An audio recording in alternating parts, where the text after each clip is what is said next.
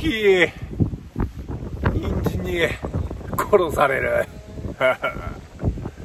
ということで、えー、人参出荷の方ね今、えー、しゃかり気になってやってるんですけども重いね人参。重い。ということで今回はね、えー、まあ市場向けに、え出荷している人参の出荷までっていうのをタイムラプスでご覧いただければと思います。早速やっていこうね。